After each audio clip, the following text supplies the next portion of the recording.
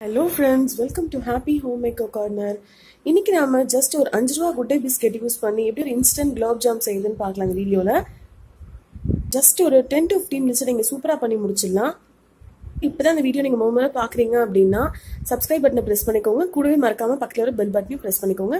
அப்போ தான் நான் போடுற வீடியோஸ் வரைக்கும் ஒன்று கூட உங்கள் ஃபோனில் பார்க்கலாம். இதில் போய் எப்படி இந்த இன்ஸ்டன்ட் குலோப் ஜாம் ரொம்ப சீக்கிரமாக சுலமாக செஞ்சு முடியும் பார்க்கலாம்.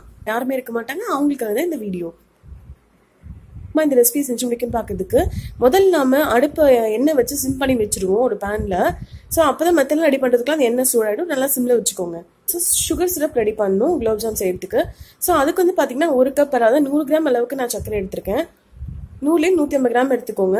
இந்த ஒரு கப் சர்க்கரைக்கு இதே கப்பில் ரெண்டு கப் அளவு தண்ணி ஊற்றி நம்ம சர்க்கரை பாக்கு ரெடி பண்ணிக்கலாம்.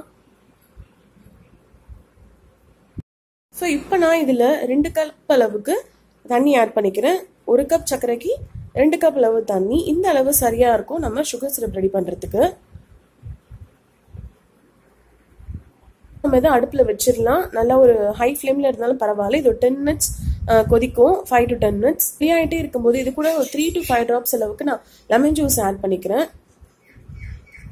ஆரம்பிக்கிறதுக்கு முன்னாடி இதில் ஒரு த்ரீ டு ஃபைவ் ட்ராப்ஸ் வந்து நம்ம லெமன் ஜூஸ் ஆட் பண்ணிக்க போகிறோம் இது எதுக்காகனா அந்த கன்சிஸ்டன்சி மாறாமல் பார்த்துட்டு ரெடி பண்ண ஆரம்பிக்க போகிறோம் இதுக்கு நான் five rupees Good Day biscuit packet வந்து நாலு பாக்கெட் எடுத்துக்கிறேன் நீங்கள் உங்களுக்கு ஏற்ற மாதிரி எத்தனை மணி நீங்கள் எடுத்துக்கலாம்.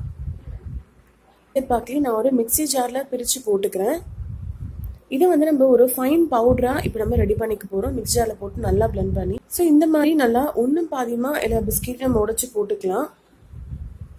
இல்லாட்டி குட்டி குட்டி பீசஸாக அப்படியே இருக்கும் நடு நடுவில் ஸோ நீங்கள் பிளெண்ட் பண்ணி ஃபினிஷ் பண்ணுறதுக்கு முன்னாடி ஒரு தடவை நல்லா செக் பண்ணிக்கோங்க. நல்லா எல்லா பீஸும் பவுடராக ஆயிருக்கான்னு. நான் ஒரு நாலு ஏலக்காய் வந்து ஆட் பண்ணிக்கிறேன். ஆல்ரெடி நான் சுகர் சிரப்பில் ஒரு மூணு ஏலக்காய் தட்டி ஆட் பண்ணிக்கிறேன். இருந்தாலும் இந்த குலோப் ஜாம் அந்த பால்ஸ் கூட இந்த ஏலக்காய் கிடைக்கும் போது இன்னும் கொஞ்சம் எக்ஸ்ட்ரா டேஸ்ட்டாக இருக்கும். அதுக்காக இப்போ நம்ம அதை அரைச்சிட்டு வந்துடலாம் பவுடரை நைஸாக அரைச்சிக்கணும் இந்த பிஸ்கெட்ஸ்லாம் நீங்கள்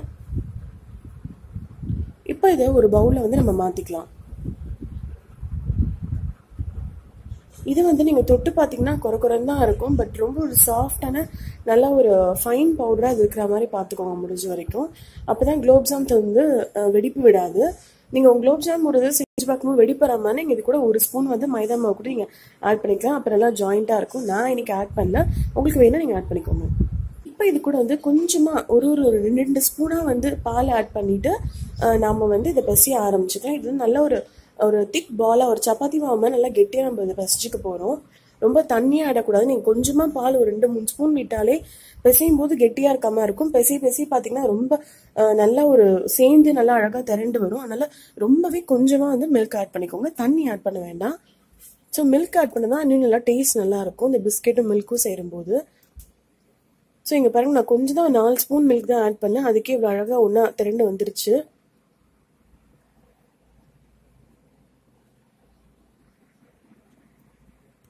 இந்த மாதிரி நல்ல ஒரு அழகான ஒரு வழவழன்னு ஒரு ஆயில் மிக்ஸ் பண்ண மாதிரி இருக்கும் அந்த பால் நம்மளுக்கு கிடைக்கிற மிக்சர் ஏன்னு பார்த்தீங்கன்னா நம்மளுக்கு பிஸ்கெட்லேயே அந்த அந்த இன்க்ரீடியன்ஸ்லாம் ஆல்ரெடி இருக்குது ஸோ அவங்க பிஸ்கெட் செய்யும் போது இந்த பட்டர் சம்திங் இந்த எக்ஸ்ட்ரா இன்க்ரீடியன்ஸ்லாம் ஆட் பண்ணிக்கலாம். நம்ம எதுவுமே ஆட் பண்ண வேணாம். ஜஸ்ட் பால் விட்டு இது நல்லா ஒரு உருண்டைகளாக பிசைஞ்சாலே போதும்.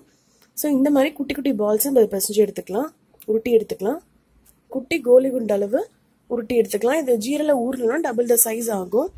உங்களுக்கு வேணுங்கிற சைஸ் நீங்கள் உருட்டி எடுத்துக்கோங்க. எல்லா உருண்டைகளையும் நான் அந்த மாதிரி உருட்டி எடுத்துட்டேன். கிட்டத்தட்ட ஒரு twenty to twenty five balls வந்து எனக்கு கிடச்சிருக்கு இந்த ஃபோர் பேக்கெட்ஸில் ஜஸ்ட் ஒரு டுவெண்ட்டி ருபீஸ் தான் நான் செலவு பண்ணியிருக்கேன். பட் ஒரு ஃபேமிலி நல்லா சாப்பிட்லாம். ரெடியாக இருக்குது இப்போ இதில் ஒரு ஒரு பால்ஸை நீங்கள் ஆட் பண்ணுங்கள் அப்படி எல்லாத்தையும் நிறைய நாலு அஞ்சுன்னு கையில் அள்ளி போட்டிங்கன்னா உங்கள் கைகளில் தெளிக்கவும் வாய்ப்பு இருக்குது ஸோ இந்த மாதிரி அழகாக ஒன்று ஒன்றா ஒன்னோட ஒன்று ஒட்டாமல் ஜஸ்ட் தள்ளி தள்ளி அப்படியே ஸ்ப்ரெட் பண்ணி போட்டுருங்க. ஜஸ்ட் ஒரு one one one to two மினிட்ஸ்லேயே வந்து இது வந்து நல்லா ஃப்ரை ஆகிடும் கரண்டியால் லேஸாக திருப்பி விட்டிங்கன்னா எல்லா பக்கமும் ஈவனான கலர் நம்மளுக்கு கிடைக்கும். ஸோ சிம்மில் வைங்க. தயவு செஞ்சு மீடியம்லோ இல்லை ஹை ஃப்ளேம்லேயே வச்சுட்டிங்கன்னா பால்ஸ் வந்து ஓவர் ஃப்ரை ஆகிடும் தீஞ்சு போயிடும். ஸோ இந்த மாதிரி கரண்டியால் லேஸாக அழுத்தாமல் லேஸாக பரட்டி விட்டிங்கன்னா எல்லா பால்ஸும் ஈவனாக நல்லா கோல்டன் கலரில் ஆகும். நல்லா செவக்க விடுங்க. அப்போ தான் கலர் நல்லாயிருக்கும் குலோப் ஜாம் இல்லாட்டி எல்லோயிஷாக ஒரு மாதிரி ஜஸ்ட் லைட் கலரில் இருந்தால் நல்லா இருக்காது குலோப் ஜாம் பார்க்குறதுக்கு கொஞ்சம் டார்க்காகவே இருக்கட்டும். ஸோ எதில் நீங்கள் குலோப் ஜாம் செஞ்சாலும் இந்த கலர் வர வரைக்கும் வெயிட் பண்ணுங்க. நல்லா சிம்மில் வச்சு குக் பண்ணுங்க. இப்போ நான் எல்லா உருண்டைகளையும் பொறிச்சு எடுத்துட்டேன். இப்போ தான் ஜீரா பாகும் ரெடி பண்ணிட்டேன். இதே டென் மினிட்ஸ்க்குள்ளே ரெண்டு வேலையும் முடிஞ்சிருச்சு. இப்போ ஜீரா பாகும் அந்த பால்ஸும் சூடாக இருக்கும் போதே நீங்கள் ஆட் பண்ணிட்டீங்கன்னா உங்களுக்கு சீக்கிரமாக ஊறி சீக்கிரமாக சாப்பிடலாம். ஒரு டென் டு ஃபிஃப்டீன் மினிட்ஸ் நீங்கள் எடுத்தோன்னா அந்த பால்ஸ் நல்லா ஊறி டபுள் த சைஸ் ஆயிடும். எவ்வளோ ஒரு அழகாக எவ்வளோ ஒரு பிஸ்கெட்டில் இந்த மாதிரி ஒரு குலோப் ஜாம் செய்ய முடியுமான்னு பாருங்கள் ரொம்பவே டேஸ்ட்டாக இருக்கும். பசங்களும் ரொம்ப விரும்பி சாப்பிடுவாங்க. வீட்டில் குலோப் ஜாம் மிக்ஸ் இல்லைனா கூட டக்குன்னு ஒரு பிஸ்கெட் பாக்கெட் இருந்தால் எடுத்து போட்டு செஞ்சிடலாம். இந்த பிஸ்கெட் யூஸ் பண்ணி அவங்க செஞ்ச இந்த இன்ஸ்டன்ட் குலோப் ஜாம் கண்டிப்பாக உங்களுக்கு பிடிச்சிருக்கும்னு எனக்கு நான் நம்புகிறேன் ஸோ இது கண்டிப்பாக நீங்கள் ட்ரை பண்ணி பாருங்கள் கண்டிப்பாக ஃபெயிலியர் ஆகாது. ஹண்ட்ரட் பர்சன்டேஜ் எல்லாருக்குமே இது ஈஸியாக பண்ண வரும். ஸோ இந்த வீடியோ உங்களுக்கு பிடிச்சிருந்தா மறக்காம எல்லாருக்கும் ஷேர் பண்ணி. பிடிச்சிருந்தா மறக்காம இந்த சேனலை சப்ஸ்கிரைப் பண்ணி வச்சுக்கோங்க. கூட மறக்காம பக்கத்தில் ஒரு பெல் பட்டன் ப்ரெஸ் பண்ணிக்கோங்க. ஸோ அப்போ தான் உங்கள் ஃபோனுக்கு ஒன்றே ஒன்றே நான் போகிற வீடியோஸாக நோட்டிஃபை ஆகும். ஸோ நல்ல ஒரு கலர்ஃபுல்லான ஒரு ஸ்பான்ஜியான சூப்பரான yummy and juicy instant gulab jamun அதுவும் பிஸ்கெட் யூஸ் பண்ணி சூப்பராக ரெடி ஆகிடுச்சு பாருங்கள் அது ஒரு டென் டு ஃபிஃப்டீன் மினிட்ஸில் கண்டிப்பாக ட்ரை பண்ணி பார்த்துட்டு உங்கள் ஃபீட்பேக்கை எனக்கு கமெண்ட் பாக்ஸ் சொல்லுங்கள்